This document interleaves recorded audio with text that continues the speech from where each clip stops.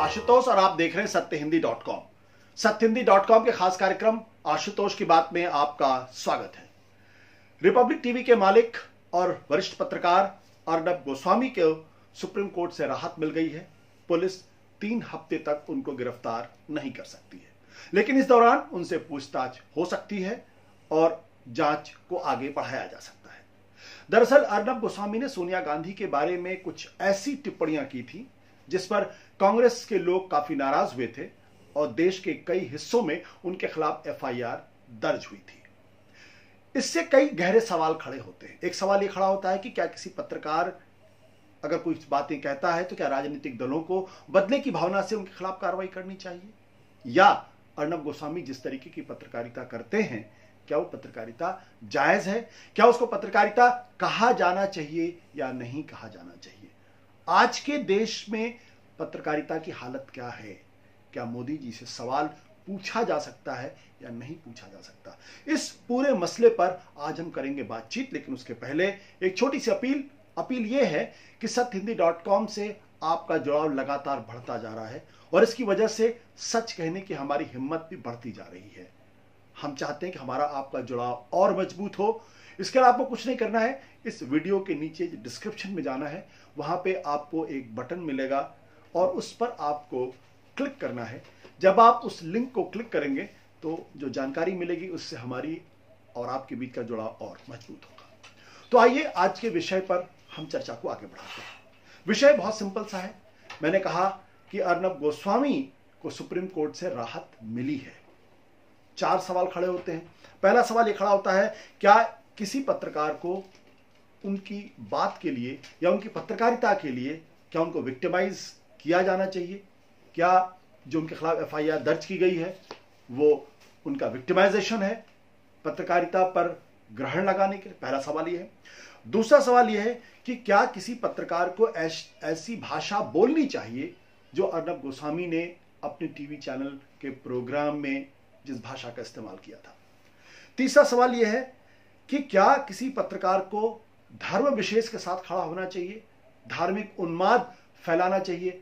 और क्या, चूँकि वो पत्रकार हैं, चूँकि टेलीविज़न चैनल में कैमरे के सामने हैं तो क्या उनको यह अधिकार मिल जाता है कि वो धार्मिक उन्माद फैलाएँ? और अगर कोई उन पर टिप्पणी करे या अगर किसी तरीके की कार्रवाई उनके खिलाफ हो तो उसको पत्रकारिता के ऊपर ग्रहण के तौर पर उसको पेश करें, अपने आप को विक्टिम के तौर पर पेश करें। और चौथा और आखिरी सवाल यह है कि क्या इस देश के पत्रकार सिर्फ़ सोनिया गांधी से ही सवाल पूछते हैं। क्या वो देश के प्रधानमंत्री नरेंद्र मोदी से सवाल पूछने की उनके अंदर हिम्मत है या नहीं है? ये चार बड़े महत्वपूर्ण सवाल हैं। मेरा अपना मानना यह कि अर्नब गोस्वामी ने जिस भाषा का इस्तेमाल सोनिया गांधी के खिलाफ किया था और जिस तरीके की पत्रकारिता वो करते हैं, वो पीठ पत्रकारिता तो छोड़ दीजिए, वो दरअसल सरकार के एक्सटेंडेड आर्म के तौर पर काम कर रहे हैं। यानी सरकार का प्रोपगंडा आगे बढ़ा रहे हैं और उनको एक तरीके से लाइसेंस मिला हुआ है कि वो विपक्षी पार्टियों को, विपक्षी नेताओं को, उनकी तस्वीरों को डिस्क्रेडिट करने का काम करें। लेकिन ये तो सिर्फ़ एक पहलू है। दरअसल हिंदुस्तान की पत्रकारिता जो 2014 के बाद से जिस कदर बदली, मैं ये नहीं कह रहा हूँ, मैं ये बिल्कुल नहीं कह रहा हूँ कि नरेंद्र मोदी के आने के बाद से ही इस देश की पत्रकारिता में कोई बहुत बड़ा बदलाव आया है।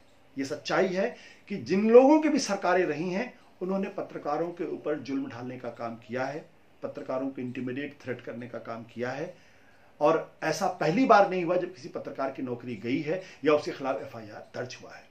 लेकिन 2014 के बाद से जो बुनियादी गुणात्मक बदलाव आया है, उसके बारे में कुछ बिंदु आपके सामने रखूँगा। पहला और जो सबसे बड़ा बदलाव आया है वो ये है कि आप देश के प्रधानमंत्री से कोई भी सवाल नहीं कर सकते। अगर आप देश के प्रधानमंत्री से, अगर आप मोदी साहब से अगर कोई भी सवाल करेंगे तो दरअसल आप गुनाह कर रहे होंगे। ये पत्रकार, कम से कम टीवी का पत्रकार ऐसा नहीं कर सकता है। 2014 के पहले मनमोहन सिंह से यही टीवी के पत्रकार रोज सुबह शाम बैठकर सवाल किया करते थे और उनसे जवाब मांगा करते थे। दूसरा, पत्रकारिता में जो दूसरा बदलाव आया है, वो ये कि सिर्फ़ और सिर्फ़ विपक्ष ही जिम्मेदार है। ये पहली बार ऐसा हो रहा है कि किस पत्रकारों का काम है, सरकार को कटघरे में खड़ा करना।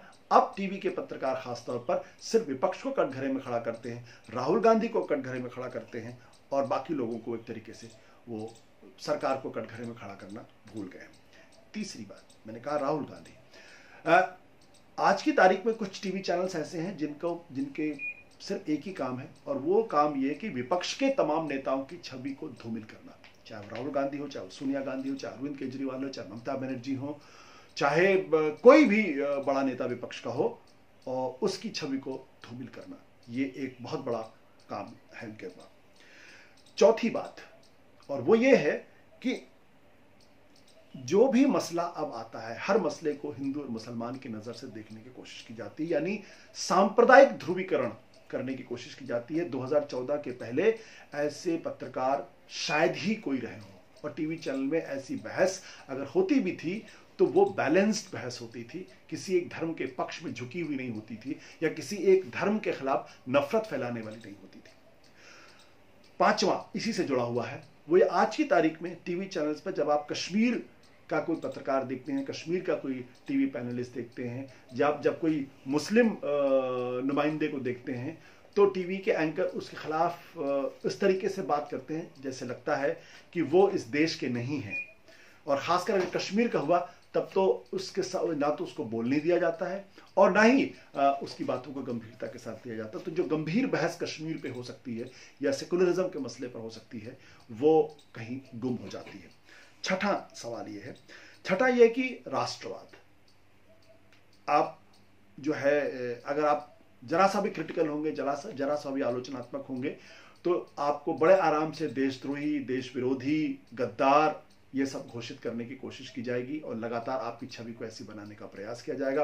आप कश्मीर के मसले पर आप अलग लाइन नहीं रख सकते हैं आप पाकिस्तान के मसले पर अलग लाइन नहीं रख सकते हैं और आप जो धारा 370 पे अलग लाइन नहीं, नहीं रख सकते हैं आतंकवाद पे अलग लाइन नहीं रख सकते अगर आप रखेंगे तो आपकी छवि और आपको देशद्रोही बनाने में ज़्यादा वक्त नहीं लगेगा। इसके साथ साथ आप जो मेरा सातवां सवाल है, आप सेना की कार्रवाइयों पर आप कोई सवाल नहीं खड़े कर सकते। अगर आप करेंगे तो भी आप देशद्रोही की श्रेणी में आ जाएँगे। और अंतिम ये है कि अगर देश कोरोना जैसे किसी संकट में है, और अगर आप देश के प्रधानमंत्री की अगर आप कंस्ट्रक्टिव क्रिटिसिज्म भी करते हैं, राहुल गांधी करते हैं सोनिया गांधी भी दो दिन पहले उन्होंने किया था तो सीधे ये आपको ब्रांड कर दिया जाएगा पत्रकारों के द्वारा, टीवी चैनल्स के द्वारा, कि आप राष्ट्रहित के खिलाफ काम कर रहे हैं। तो ये जो बातें हमने आपको बताई हैं, ये भारत की पत्रकारिता की टीवी पत्रकारिता की एक ऐसी तस्वीर है। और ये सिर्फ़ मैं नहीं कह रहा हूँ, क्योंकि मेरी छवि एक सरकार के आलोचक के तौर पर बना दी गई है। जबकि मैं 2014 के पहले मनमोहन सिंह की सरकार की भी उतनी ही तीखी आलोचना करता था, जितना आज नरेंद्र मोदी की सरकार की तीखी आलोचना करता हूँ। मेरे लिए सरकार सरकार होती है, प्रधानमंत्री प्रधानमंत्री होता है, अगर वो गलत करेगा तो उसकी तीखी आलोचना होनी चाहिए। जिस तरीके की पत्रकारिता देश के अंदर हो रही है, उस पत्रकारिता का, के बारे में अंतर्राष्ट्रीय मीडिया में जो खबरें छपी हैं, अगर मैं उसका ज़िक्र करूँ, उसमें बहुत ज़बरदस्त कंसिस्टेंसी है 2018 2018 में रॉयटर ने 27 अप्रैल को एक खबर लिखी, और उसमें एक उदाहरण मैं कराऊँगा कि some reporters as well as the TV anchors have told Reuters they have been threatened with physical harm abused on social media and ostracized by the Modi government. 27 अप्रैल 2018 को रॉयटर ने खबर छापी जिसमें कुछ टीवी चैनल कुछ reporters ने उनको बताया कि अगर आ, कि उनको धमकियाँ मिलती हैं जानमाल को की धमकियाँ मिलती हैं सोशल मीडिया पर उनको ट्रोल किया जाता है और मोदी सरकार उनको हासिल पर डाल देती है। इसी के साथ साथ 4 मार्च 2019 4 मार्च 2019 को वॉशिंगटन पोस्ट ने एक एक खबर छापी एक अच्छी खासी एनालिसिस की और अंत में वो निष्कर्ष पर पहुँचे कि पुलवामा, आपने देखा होगा पुलवामा का एक चुनाव के ठीक पहले एक घटना हुई थी जिसमें हमारे 40 सीआरपीएफ के जवान शहीद हुए थे। वो लिखते हो संदर्भ में कि it's it's performance after Pulwama leaves severe doubts as whether it is engage in journalism और प्रोग्रेशन ऑफ़ हिंदू और प्रोपोगेशन ऑफ़ हिंदू मेजोरिटेरियनिज्म यानी वॉशिंगटन पोस्ट ने चार मार्च 2019 को लिखा लोकसभा चुनाव के पहले कि पुलवामा घटना के बाद से जिस तरीके की पत्रकारिता हो रही है, उससे यह संदेह बढ़ता है कि या क्या हिंदुस्तान में लोग पत्रकारिता कर रहे हैं या हिंदू बहुलतावाद को बढ़ाने में लगे हुए हैं। अभी हाल में 2000 2 अप्रैल 2020 न्यूयॉर्क टाइम्स ने एक बहुत बड़ी रिपोर्ट छापी है, जिसकी हेडलाइन ये कहती है, under Modi, Indian press is not so free any more यानी मोदी सरकार के अंतर्गत भारतीय मीडिया अब उतना स्वतंत्र नहीं रह गया है। जो आ, मीडिया का फ्रीडम इंडेक्स है उसमें 2002 में भारत की स्थिति थी। 138 देशों में हमारा जो एक सौ उनतालीस देशों में हम 80वें पायदान पे थे। बहुत अच्छी स्थिति नहीं थी। लेकिन 2018 में 180 देशों में भारत फिसल कर 138वें पायदान पर है। और हमसे ऊपर अफ़गानिस्तान, म्यांमार जैसे देश हैं, जिनकी, जिनके लोकतंत्र के बारे में जितना कम कहा जाए, उतना बेहतर है। और जो ताज़ा डेटा है, उसके हिसाब से 180 देशों में भारत 140 के ऊपर निकल गया है। और ये कंसिस्टेंटली अगर आप 2014 के बाद से देखेंगे तो फ्रीडम इंडेक्स में हम बहुत तेज़ी के साथ नीचे गिरे अब अपनी बात को और स्पष्ट तरीके से अगर मैं कहूँ मैंने ये क्यों कहा कि मोदी जी से आप सवाल नहीं पूछ सकते हैं? और सवाल पूछना एक तरीके से गुनाह है।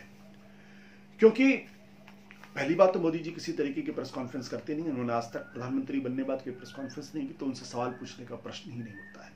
टीवी चैनल पर बैठे हुए एंकर कम से कम उनसे सवाल तो पूछ सकते हैं, भले उसका जवाब ना मिले, लेकिन वहाँ भी सवाल नहीं पूछे जाते हैं।